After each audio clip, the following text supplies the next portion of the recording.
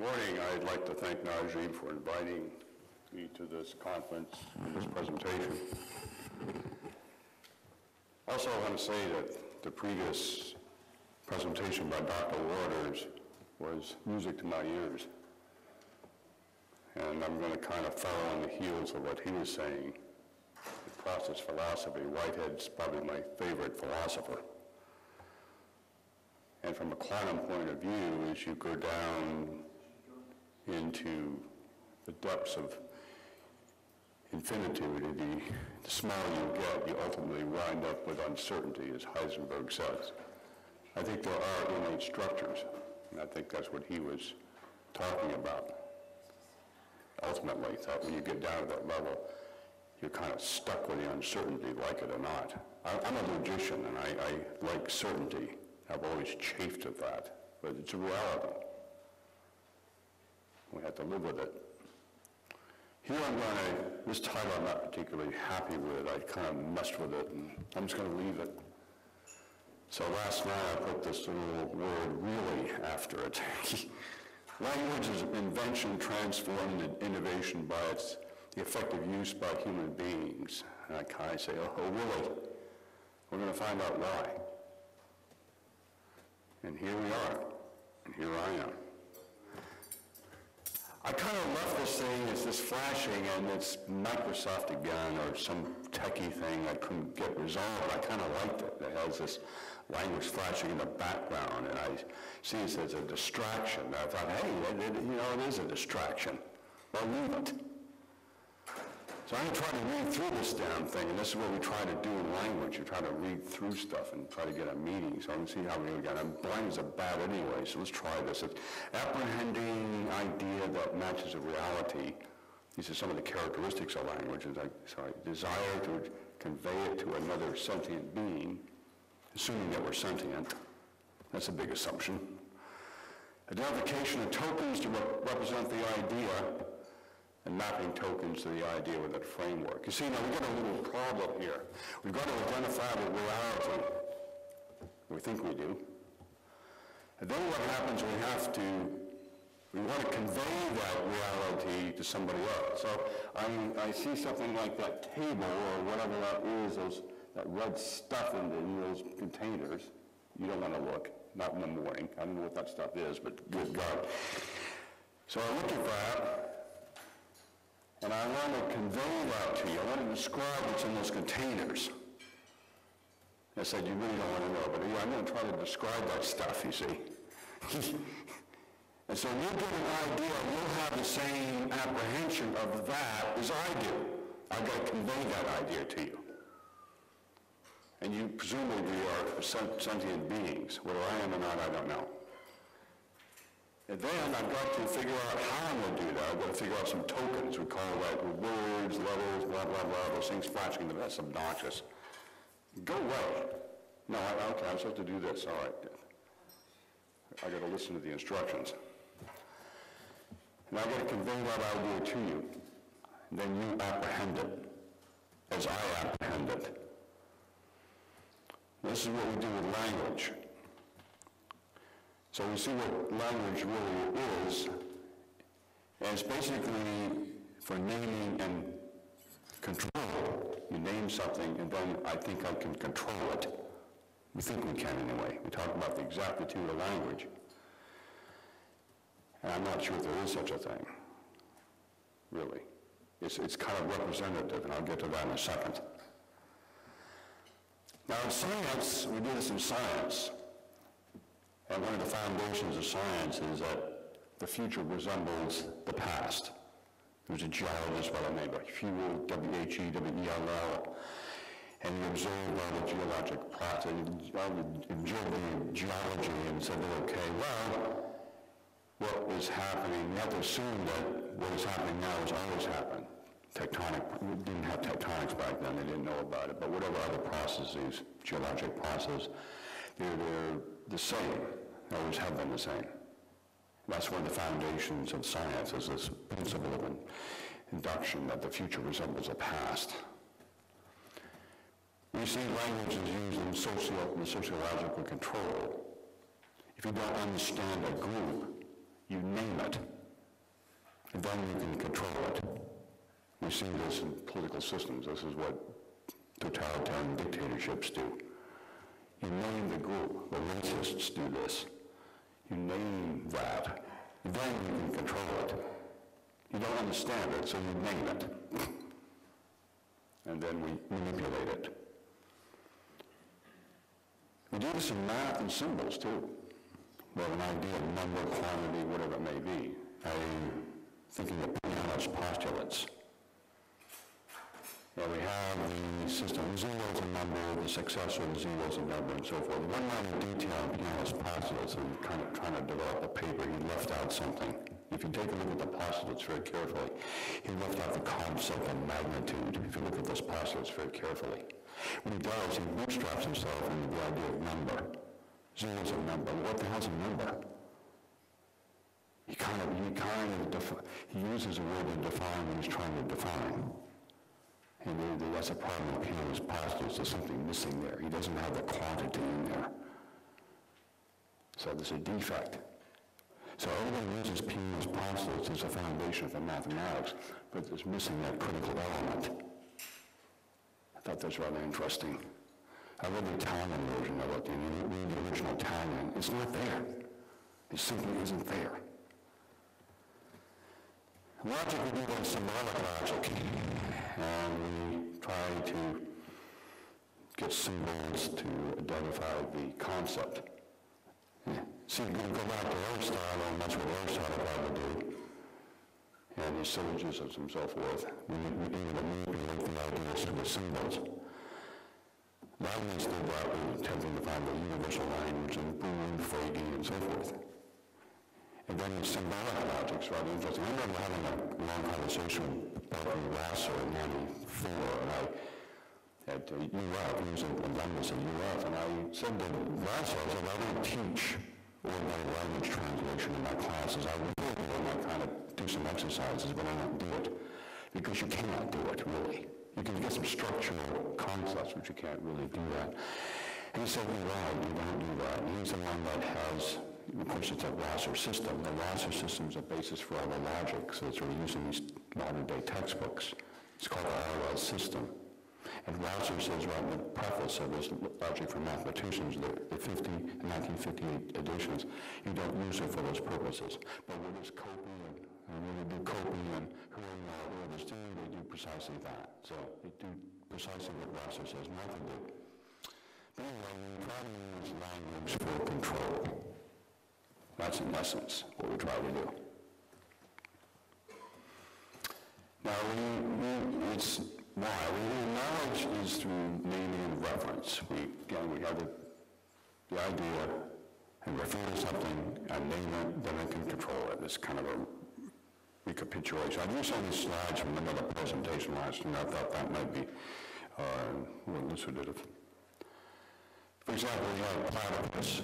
So rather than going through all this stuff about what a platypus, platypus is we conceptualize it and then we tag it and we ta- pass that tag word on as a, a box, a container to contain that idea. We refer to that and then everything inside that box is what we mean by platypus. That's a lot faster, a lot easier. Another thing about language is rather interesting, and this is what we call, it's, uh, uh, I'll get to this in a second. Words can be defined in terms of each other. And it's kind of like, we start off thinking it's a closed system, and this gets into Ayer. I'll get to Ayer in a second. And so I asked some things about the language.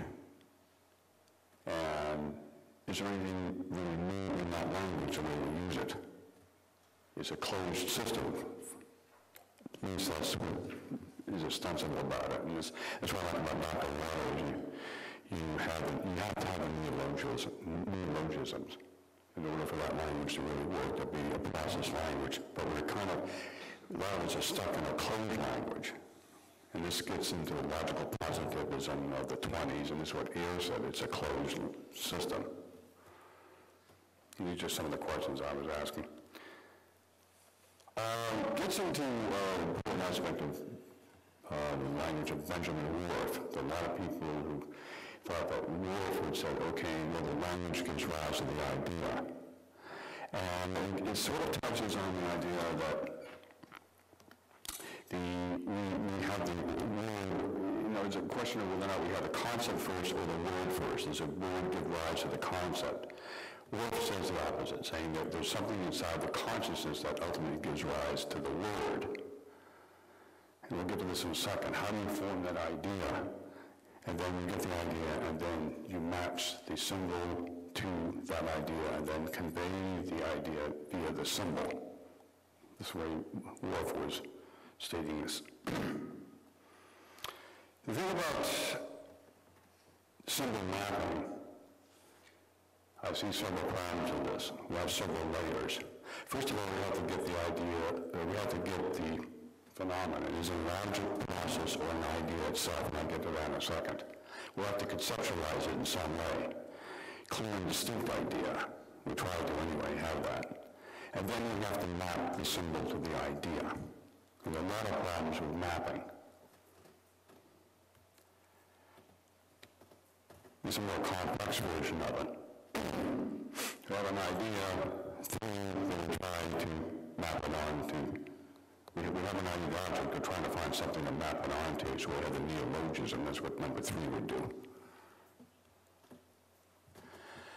The problem, we have this problem of representation, which I'll get to in a second.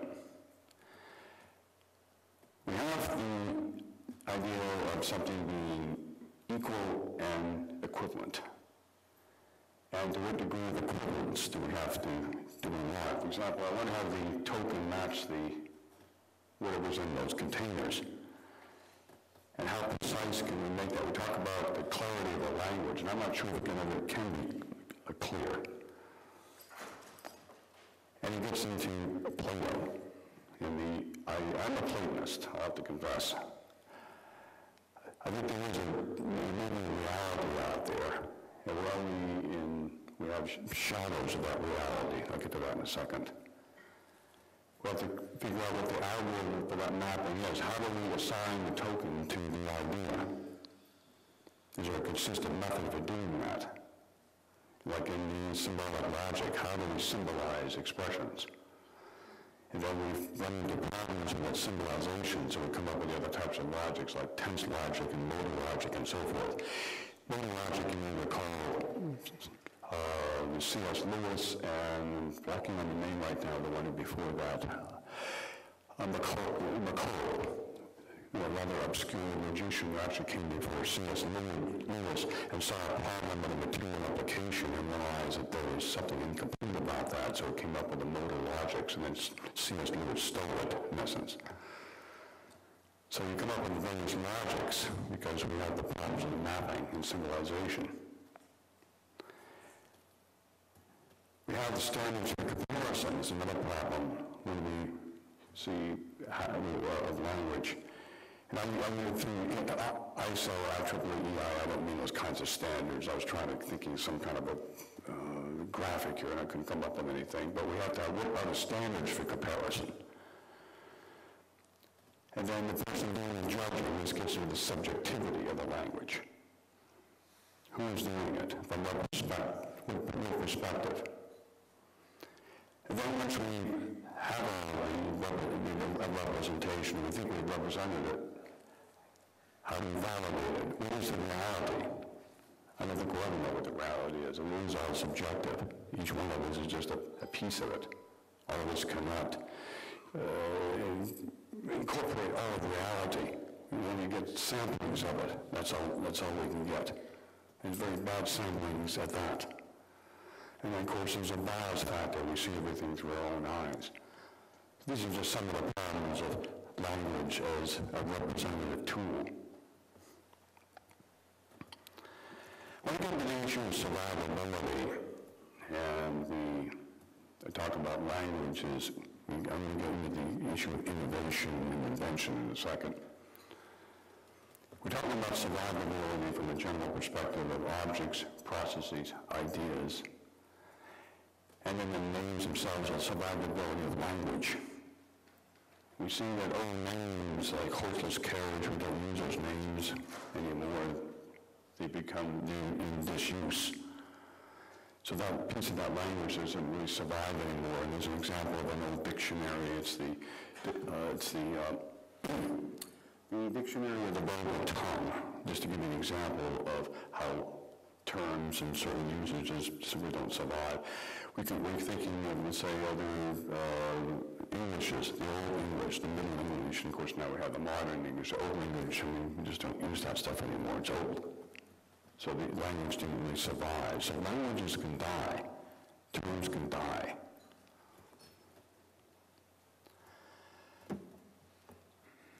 Now, in order to get into the, we look into the survivability of ideas, as we name ideas and we look at the ideas themselves.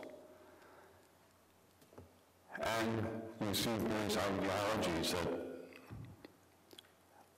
uh, we, we have examples of ideas of, of ideologies, economics, and political systems.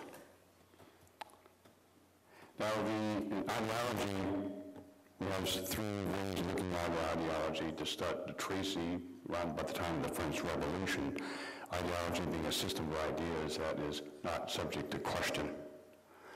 Marx had the idea of an ideology being some, a set of ideas used by the ruling class to control another group.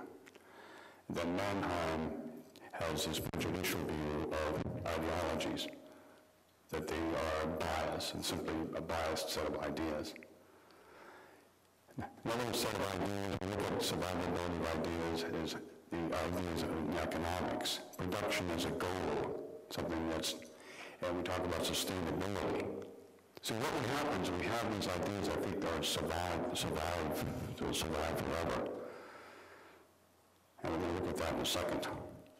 Political systems, the survivability of political systems as sets of ideas, whether it be capitalism, socialism, fascism, whatever it may be. Now we're going to look at the idea of invention and innovation.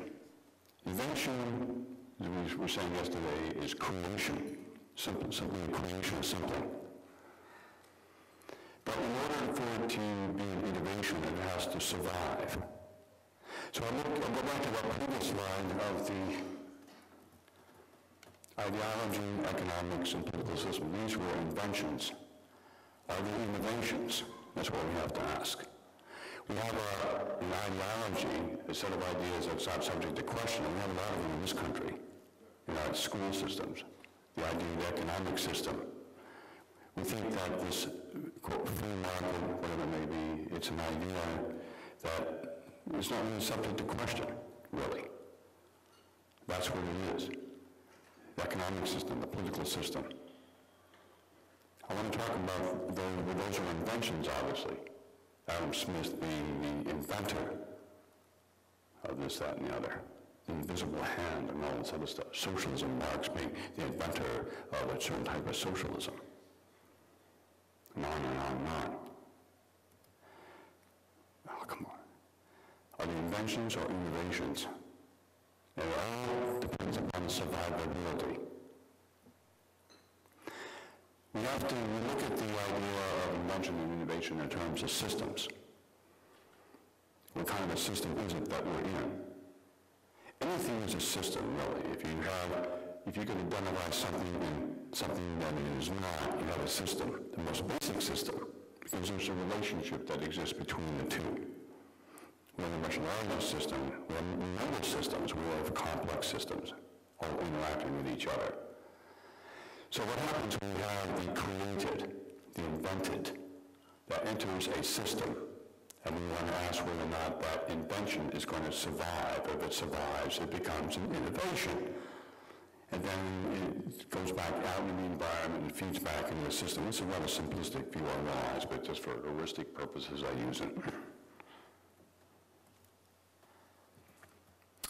Now, we to know, start, starting off with invention, what really, how does an invention come about?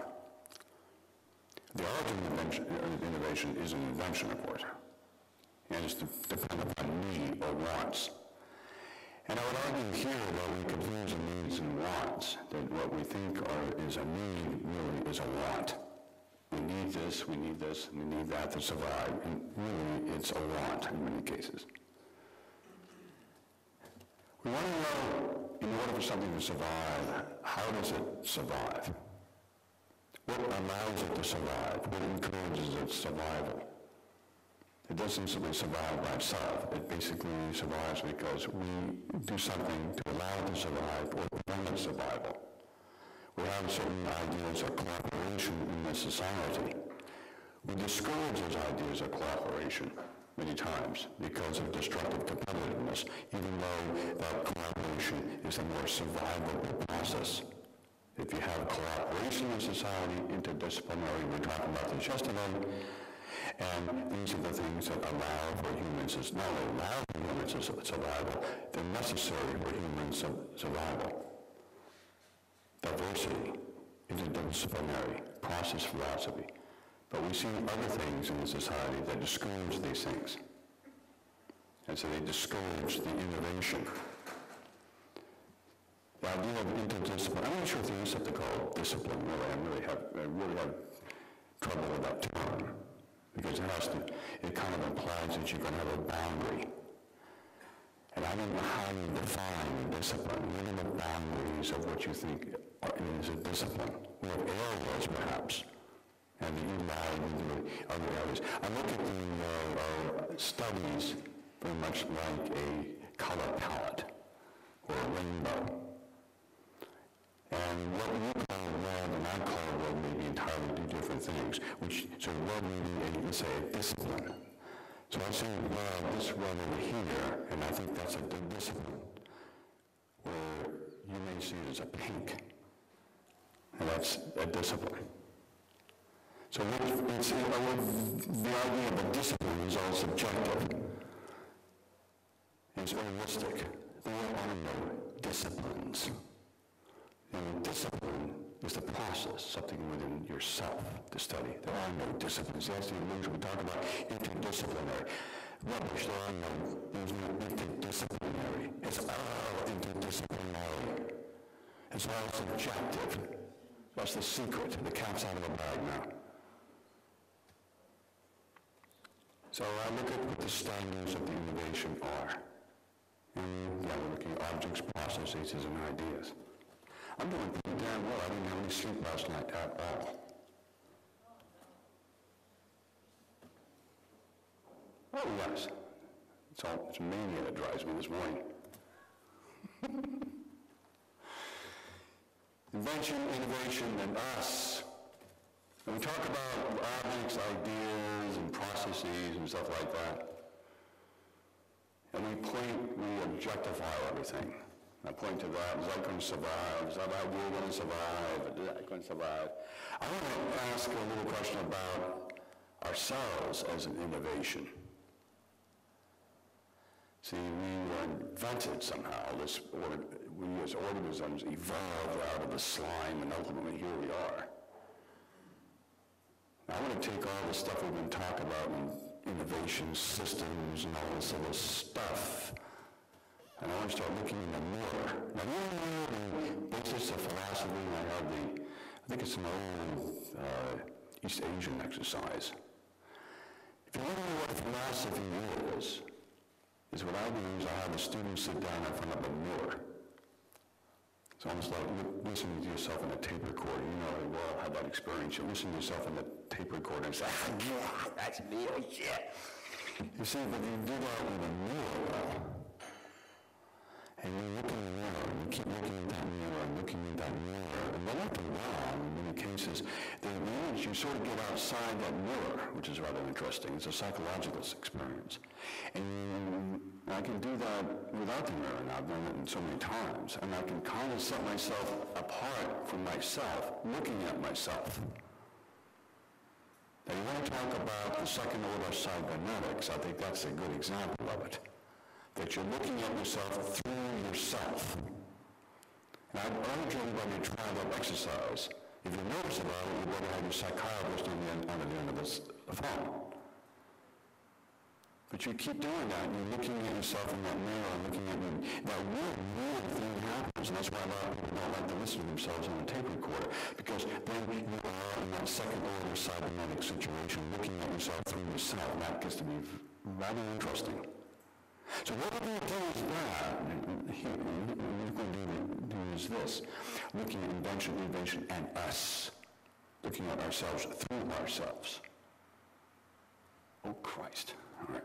We think of object, we can read it. Okay. I get to get going. The innovative human, so they, we, we are creative individuals and so forth. Okay, let's get going. Got to move along. Who are we? The monkey down there. We are the Homo sapiens sapiens, the wise ones. Are we really wise? We're living in a fishbowl, looking at ourselves through ourselves. We can't get outside of ourselves. Are we the dominant species? And what we've done over the years, especially since the uh, uh, from the uh, Renaissance on, we try to dominate the world. We try to dominate nature. And the witchcraft trials are a very good example. This is how it's kind of a sidebar. We get an idea of what we're doing to ourselves through ourselves. This is what I'm looking at. Are we going to be innovations? And these are some of the considerations. We had uh, Malleus Maleficarum, the idea that this is the extreme patriarchy. You got to read the Malleus. It's rather interesting. It gives a prevailing Western view that really hasn't changed much. We've modified it and we've, we've kind of uh, softened it, but it's still there. Now, I want to get into our, our remaking ourselves. So we come through this whole thing, we're starting to realize, oh my God, there's something gone terribly awry. We're looking around us, we look at the global warming, environment, all these other things, and things are kind of, we're looking at the very nature of society. What kind of a world have we created for us?